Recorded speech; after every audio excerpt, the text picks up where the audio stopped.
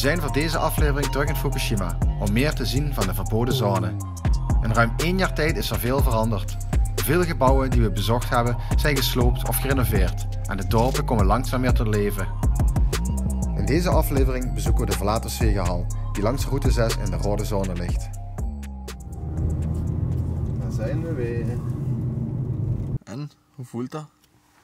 Terug te zijn op de route 6? Ja, heel maf. Ja, heel maf. Ik vraag me af wat we nog eh, gaan tegenkomen. Wat we vorig jaar hebben gedaan. Dus gewoon even naar links hier of doen we? Ja, doe hem even. De meeste rotte gebouwen zijn gewoon weggewerkt. Alles Ja. platgezwierd, zoals hier ook. Ja, de steentjes hier, hè. daar staan nog Ja. schare gebouwen. Ook hier staan allemaal gebouwen. Je ziet dat ze alles met de grond gelijk hebben gemaakt. En gewoon het grind hebben neergegooid.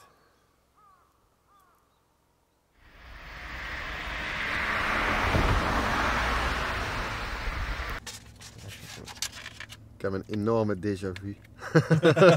Echt wel. Echt vier, vijf dagen gewoon eh, supermarkt eten gewoon. Jongen.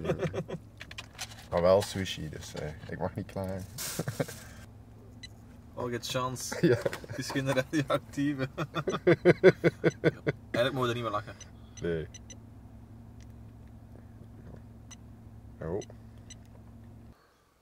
We nemen een kijkje in een pachinko-hal die we vorig jaar ook bezochten. We zijn vorig jaar ook geweest, in het donker. Er is al een en al gestript nu.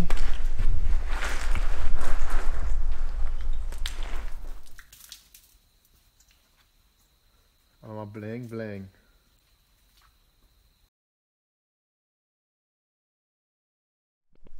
Nou, er is ondertussen al wat meer volk geweest volgens mij, hè? Ja, veel geplunderd, al op de grond gesmeten en zo. Ja. Ik dacht dat wij alleen zo gek waren om hier te komen. ja, blijkbaar niet. Naar de rode zone.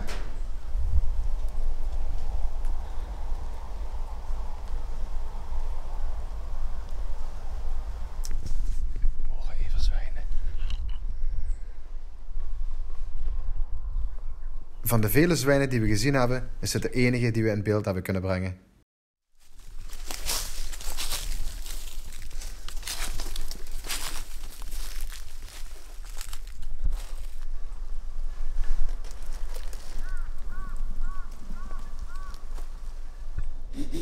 Overop gehaald door de everzwijnen. Ruik ik ook dat hier beesten zitten. Richt maar. Al wat sporen dat hier veel zwijnen lopen.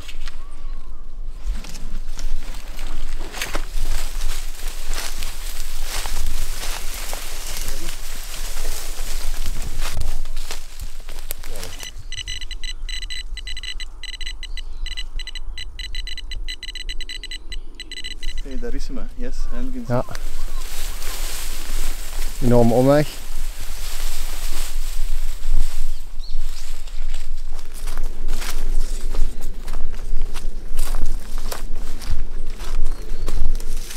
Een uurtje door het bos geploeterd. Mijn god. Dat is maar 700 meter, maar... Maar eindelijk zijn we bij onze Sega aangekomen. Die wilden we zo graag bezoeken vorig jaar, hè. Is het makkelijkste wat we gaan doen deze trip. Hè. Dit is het Zeker makkelijkste, ja. Goh. Het is heel dicht bij route 6. Die dan waarschijnlijk dit zeker al alleen van de afleveringen gezien. Echt, er vlak langs. Ja.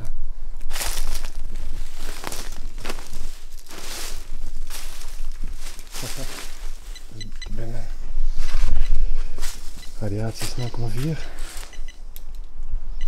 Zo mooi dat ons eerste doel al gelukt is. Dat is een van de redenen dat we uur terug zijn gekomen. De hele grond ligt bezaaid met prijzen. Van Disney knuffels. Tot de Hello Kitty prullenbakken. Tot manga poppetjes. Alles. De beren maken nog geluid.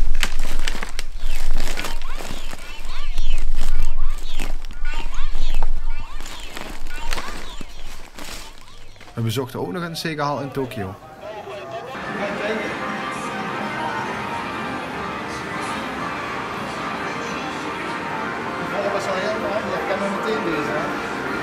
ik we helemaal niet wat het, uh, wat het Al was. geluiden. Was radio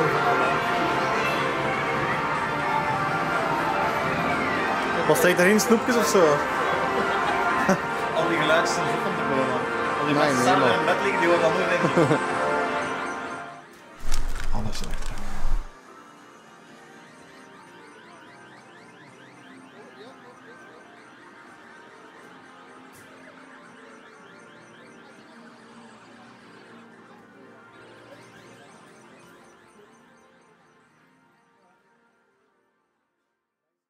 Zelfs Hello Kitty prullenbakje hier winnen. Wie verzint dit? Al acht jaar stond deze ding op ons te wachten. Maf, hè?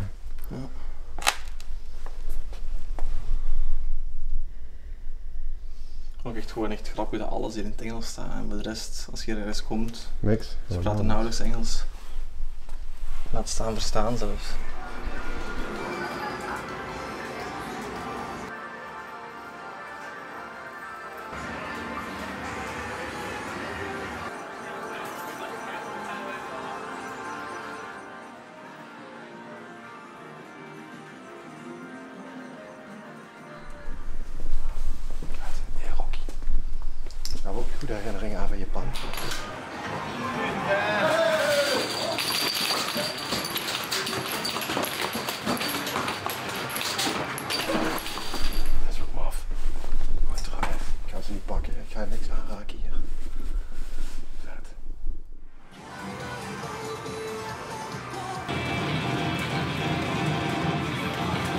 Level 1 halen? Ik denk het niet.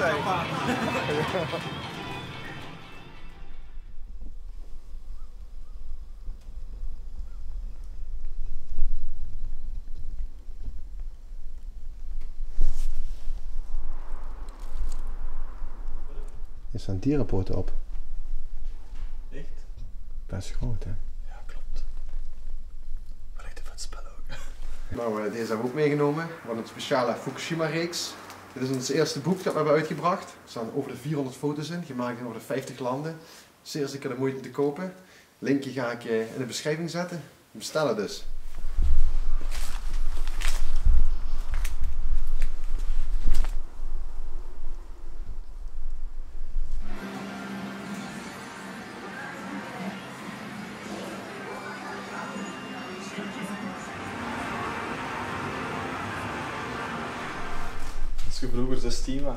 en je kon hierop echt goed racen, dan dacht je echt dat je de wereld aankon dat je rijbewijs al had. maar zo moeilijk was dat ook niet, hè? Hele stuur beschimmeld, echt Over auto's gesproken, in een van de volgende afleveringen brengen we een bezoek aan een driftcircuit waar veel gedumpte auto's staan. We mochten ook een rondje meerijden in een echte driftauto. Wat is dit? Oh, niet je geluid. We zitten in de rode zone, dus dat is een beetje vreemd.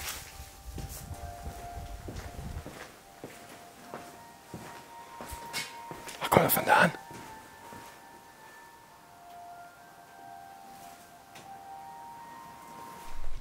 Gaan we het wagen? Naar boven? Het is stil.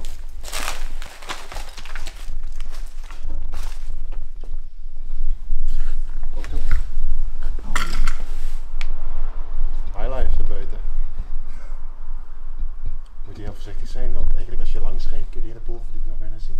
Ja, correct. En hoe komt dat? Dat komt door die ruit dat dat helemaal weg is. Die.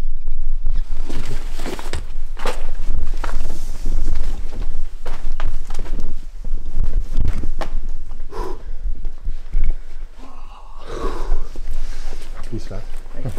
Dat zijn echt de meest gekke, absurde dingen dat je kunt spelen hier. Al die speelmunten hier.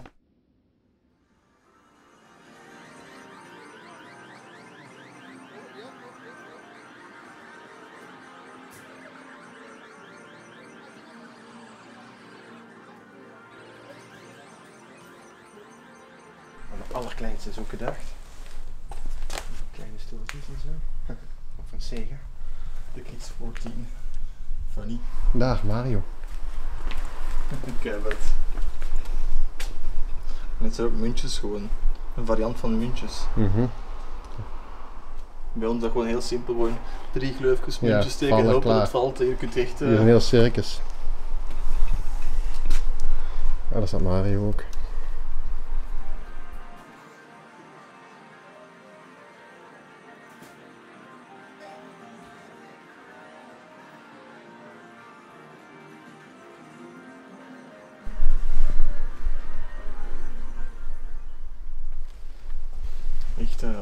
Top 10 eh, van de meest vette verlaatplaatsen deze. Ja, Ik zie ook gewoon nog het echt gewoon nooit, allee, zelden ziet het niet. meestal als die eh, dichtgaan, dan worden ze meteen lichtgehaald. Hè. Ja, tuurlijk. Dan blijven de prijzen zeker niet erin Het zitten. kost gigantisch veel geld zo'n machine. Ja, Deze dat is misschien gewoon in totaal oppervlakte gewoon 4 vierkante meter gewoon allemaal Ja. aan toestellen. Ja, die van hetzelfde. Daar kunnen we wel een kamer in maken. En daar, een monopoliespel. ja. Toeval of niet. Het spel is gestopt Hebben we dat niet goed gezet? met in jail. Super raar. Hij, eh, zo eindigt het misschien voor ons. Hopelijk niet. In jail. Hier moest je volgens mij mikken. Ja, het glas is gewoon helemaal onder stof. Te veel aanraken. Kijk. Je kan hier, dit, hier erin vallen. Ja. Hier kun je bepalen waar de muntjes vielen. Zie je, die, die kon je zo rollen. In eh, Europa doen ze dat één voor één. Maar hier doen ze dat volgens mij met tientallen, honderdtallen, gewoon allemaal tegelijk. Dat is gewoon één groot gekkenhuis. Je ziet ook echt hele bakken met munten daar liggen.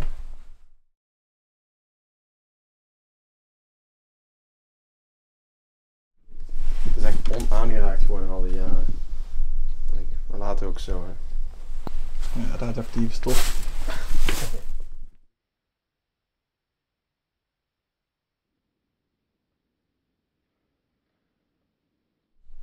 We op de details gelet. Zoals de asbakken zijn in het zegen.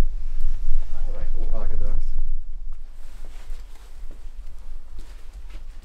Legendarische fruitmachine. Ja. Lekker oldschool. Heel veel daarachter. Heel veel, ja. Het is moeilijk begaanbaar nu, hè. Echt ook echt gek hoe dit gebouw eh, door de aardbeving is afgetakeld. Ja. Alles eruit. Al die platen eraf, hè. Ja. We zijn door. Mission complete Ja. for today. Ja, we kunnen al blijven filmen, maar we hebben Ja. meer. Er is de grens trekken, hè. We Ja. hebben de mooiste beelden gemaakt, denk ik. Over de Hello Kitty's naar buiten. Radioactieve bossen.